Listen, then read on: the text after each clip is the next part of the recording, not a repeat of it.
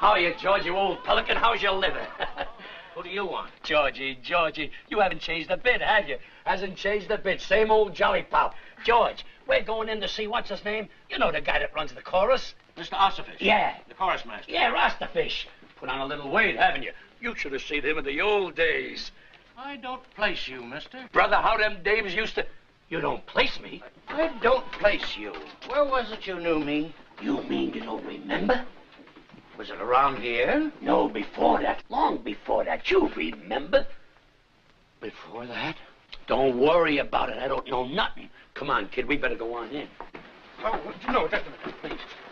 Was it Brighton Beach? Sure, Brighton Beach. I knew you'd remember. Shh. Georgie, Georgie, don't worry about it. I don't know nothing. Nothing. Oh, George, you got anyone around here who can show us to the fisher's office? Yeah, yeah. Kid, one minute, please. Don't worry about it, will you? If you get to worrying, maybe you'll get me to worrying. Maybe I'll get to talking out of turn and... Shh yourself, will you? What are you picking on me for? Is George always that nice? Got me, never saw him before in my life. Oh, Miss Rosovich, Yes? George told me to bring this table into you. Hiya. How do you do? Are you watch the fish? Mr. Ossifish. Listen. Uh-huh. Uh-huh.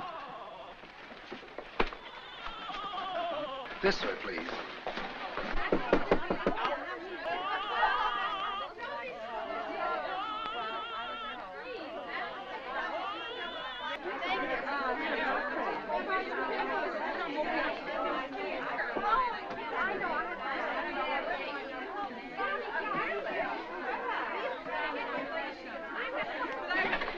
Thank you very much. Oh, don't thank me. Thank your friend, Mr. Patterson.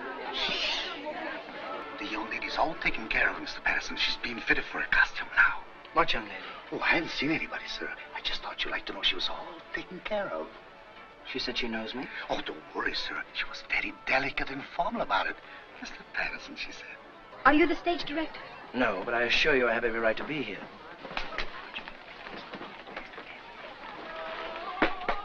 I see. Well, you're very pretty, I must say that. Um, are you the stage manager? The, the man who, who... No, I'm not the man who who. No? You know Mr. Patterson very well, I take it. Well, aren't you getting a little personal? Look, Johnny, if I was you, I'd keep waiting dressing room doors. You'll get in trouble with Mr. Patterson. Quiet! I'm a friend of Mr. Olstrom's. I gotta see You can't see nobody till the recording is finished. Quiet! But listen here, up. Listen, you go right down to the rooster and tell Susie everything's gonna be all right. I hope.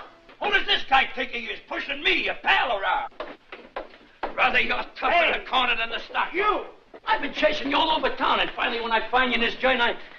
What are you afraid of around here, a raid? Mr. Ostrom, please, sir. Brother, look at this. Hey, did you put on the beef? I'm afraid you made a mistake. Say, remember only what a slick poppy you was in the old days? Remember how I used to use you as a decoy for the dames? Woo-hoo, brother! I beg your pardon. What are you worrying about? This is Spike Marengo, and I don't know nothing. Nothing. Mr. Olstrom, please. I don't want to talk with everyone around. You never know whose ears are out. Yep, how you used to knock them dames silly in the old days. Hoo-hoo, brother!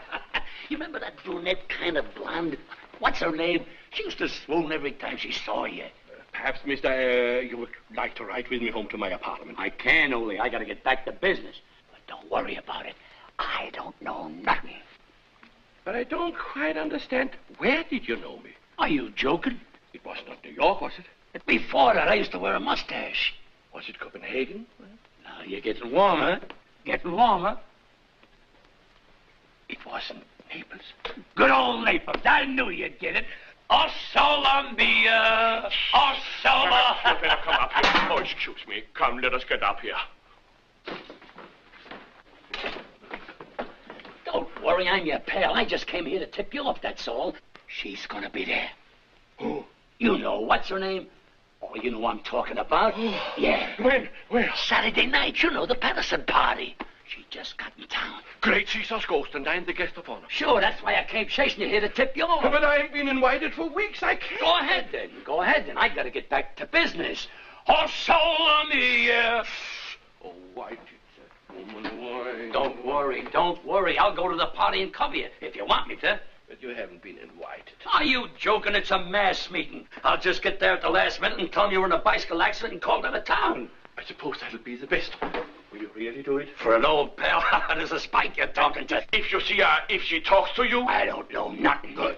Well, I gotta get going. I was never in Naples. Never, never in your life. You knew me in Paris. Yet Paris, never even heard of Naples. Good, good. Paris in, Naples out. I don't know nothing. Oh, Abigail, have you no shame? Oh, she isn't coming to the party. Spike fixed it. Isn't that wonderful? Oh, Spike, I love you truly. Oh. Did he put up any argument? We're pals. He's sending me to the party as his personal representative. You'd rather die with booze than live without it. Why don't you think of your friends, if you got any? Why don't you think of your wife? Why don't you think... Beg your pardon, sir. Have I a wife? Have you got a wife? Brother, what that booze is doing to your brain. You've got a wife and eight kids. Eight children? I don't recall. Goodness. Well, there's still time for you to be a man. If you get going fast, Hey, children. get going. Get going. Goodness. Get going.